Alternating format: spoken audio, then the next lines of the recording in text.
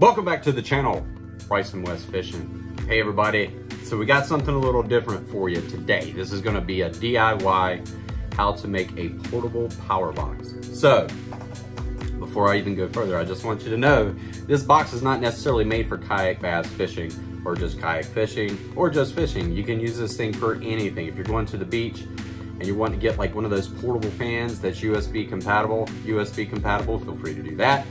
You know, if you just wanted to bring it with you, if you're running just, I don't know, if you're filming your family at the beach or just somewhere and you just need some direct power, uh, the GoPro batteries only last for about 40 minutes. It's a real pain to have to keep changing them. So with this method, you could just run it for eight hours straight. Um, I've ran mine, I believe, over 10 hours uh, with no issues. So anyway, it's not just for fishing. You can use it for anything. So when we first started this kayak bass fishing thing, we wanted to run our GoPros on direct power. We got tired of changing batteries. So we started looking up the prices for these power boxes. So the first one we found is a Frabill power box, BAM, $249. Next one was a, the most popular box out there is a Dakota, Dakota Lithium, BAM, $249. And then we also found an ARC Power Pack, BAM, $349. It's a little much for a battery, right? So anyway, we thought, why can't we just get an ammo box and run a 12 volt battery in? So that's what we did.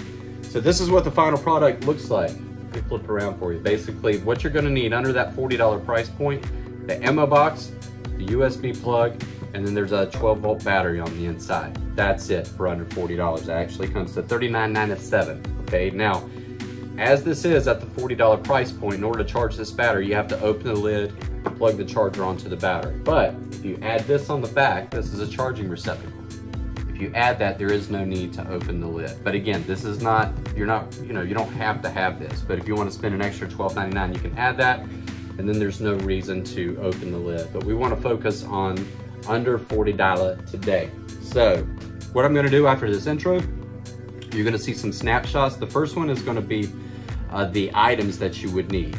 Um, I will put the, the uh, link to all the items in the description. I got everything on Amazon. So the first snapshot, you'll see the materials that you'll need. The next snapshot will be the tools that you'll need. So feel free to pause the video, take your notes, take a snapshot of that. And then, uh, yeah, you should be good to go. So I hope you enjoy the video. Please like, share, subscribe, tell your friends, all that good stuff. And as always, thanks for watching. Question my sanity. But you don't question my dedication.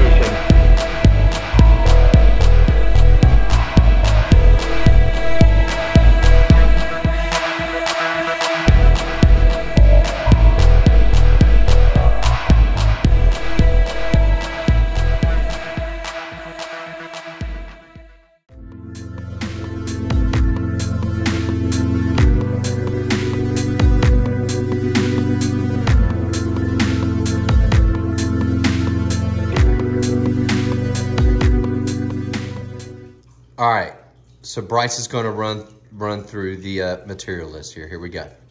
So we got an ammo can, this nice green color, 30, what does that say? 30 caliber tall ammo can. This is what's gonna hold our battery. Very nice. Made in America. Then we got this 12 volt battery, Mighty Max battery. It's not lithium, we're not on that just yet. we got our USB plug and then the power source that'll run to there. So this is our less than $40 option, but for some added convenience, you can add on these items, which will make your life simpler. This quick charging port and this on off switch. Is that it? Yep. All right. So for this, we have decided on the proper placement that'll fit this best based on, we put the battery there, and we get, there's that plug at, right over here. So this, with this diameter, would probably fit best right over here. So we could put it over there. All right. You ready to drill the hole? Let's do it. So uh, for the hole, what size drill bit are you using? We are gonna use a one and a quarter spade drill bit. All right. All right, let's drill a hole. Safety first. Gotta get my eyeglass. All right, so we're using a one inch spade bit. Let's do it. We'll say like right there, right? That looks good to me. Start slow.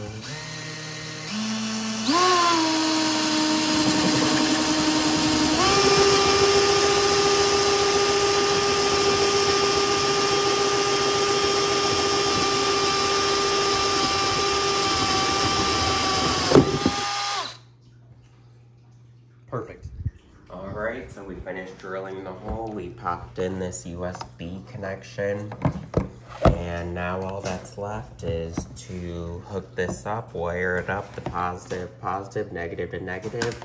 And that's it for this $40 piece.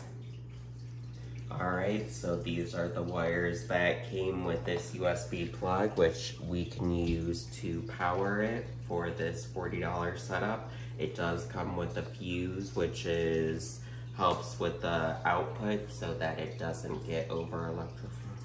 Electrified. All right, I'll roll with that. Um, so yeah, all we need to do is cut off these ends, make some female ends, and that's pretty simple to do. All right, let's show them how to do a female end because they're going to need this. Oh, okay. All right, so like Bryce said, the wire that comes with the USB switch has got a fuse in here that we want to use to protect your uh, electrical devices.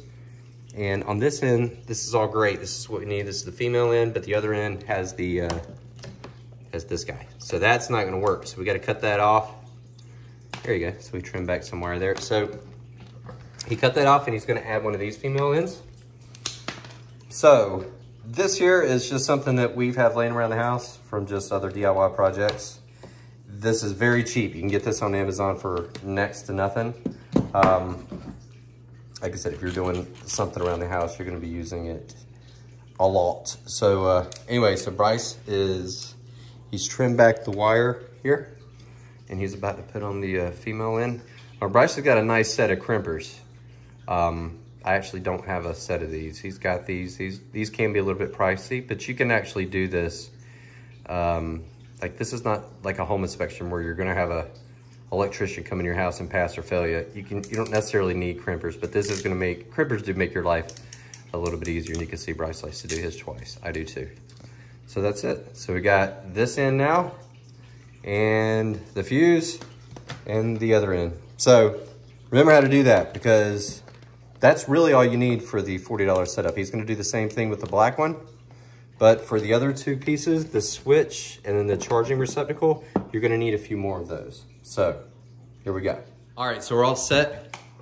We've got our wires ready. Bryce is making the connectors now, and we are going to uh, gonna try it out. Fingers crossed. And while you're watching this, folks, you notice the battery is sliding a little bit. Um, what Bryce and I do with ours, here's ours actually right here. Um, we put a little bit of Velcro on the bottom of the box, and I've got that on the materials list at the end as well. A little bit of Velcro on the bottom of the box and the bottom of the battery. It doesn't slide anywhere. Be careful. Oh, uh-oh, something's happening. Uh-oh. All right. So that's a good sign. Okay.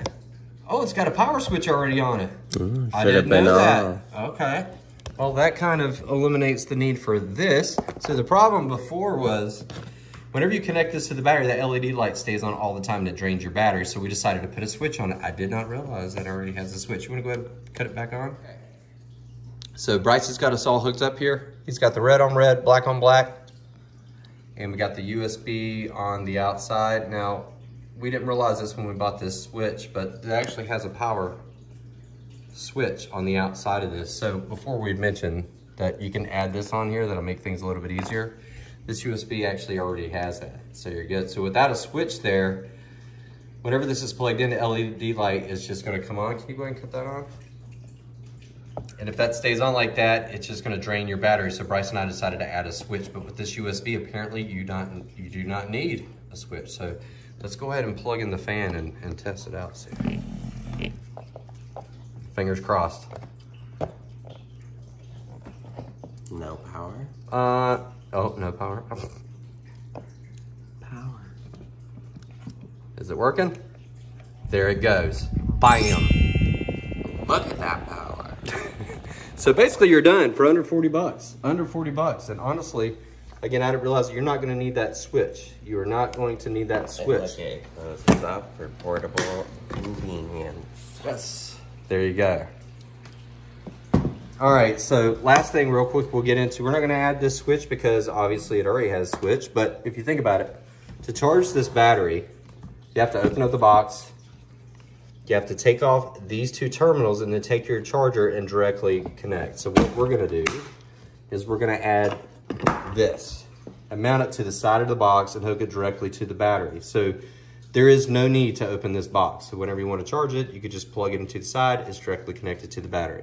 So that's the next part. Here we go.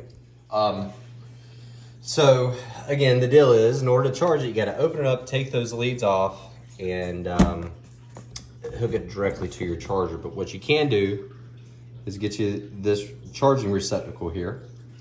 What we're gonna have to do is actually cut the end off here. And we are gonna put one of these on it. You can see that.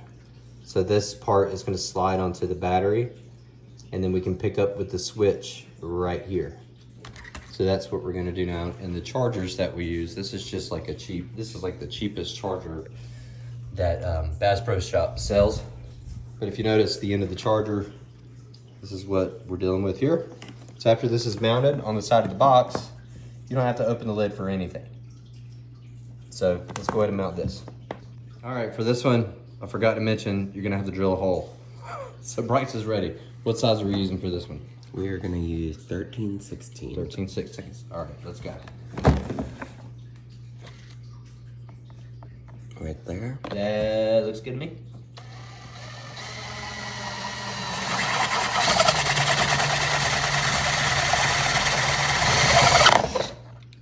Alright, we got our hole drilled. Now, these charging receptacles come with screws, right? So we're gonna put those in. Always like to start out with a tiny drill bit first just to help us get started. So we're gonna do that now. I feel like there was something else I was gonna mention.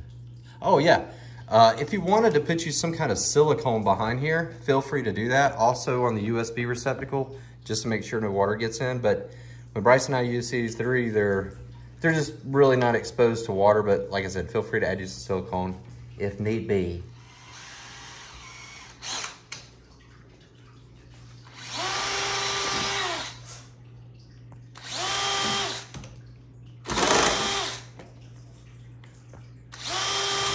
See how fast I can do it?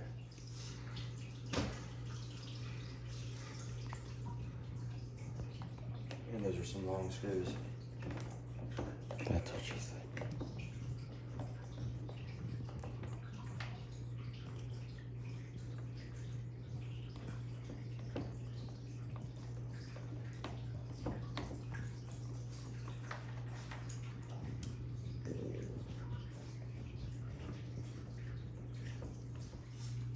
So, final test.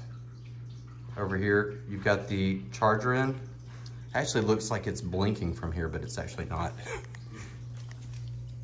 it's solid. I don't know why it looks like it's blinking. But anyway, I plug this in and it starts blinking. We are in business. Bryce, will you put your hand on top of that for me? Thank you. Or not blinking, solid green? Yes. Charging solid green. So there we go. $40 power box. Okay, so very last step. Earlier we had mentioned in the video about the battery kind of just bounced around in the box. So I was like, hey, you could just throw some Velcro in there. So let me just show you this real quick. This is some Velcro that I got online. Um, just comes in rolls, It's kind of self-explanatory. So you can just take a few pieces, cut it, and you can see I've already got two pieces there at the bottom. Um, I like to put one on the bottom, one on the side, and then same thing on the battery. There's the other end there. There's the other end there. So that's really all you need. And a lot of this stuff, like the connectors and the Velcro, just from kayak fishing, a lot of times you just got to get creative and figure out a way to make things happen. So the Velcro is just something we've had laying around the house. So now it's in there. If you wanted, you can, like, you know, whenever you do your electronics, just kind of center up the battery a little more. Just make sure, like, if you wanted to do the uh, the USB plug maybe over to the left a little bit more and then put this one over to the right and center up the battery.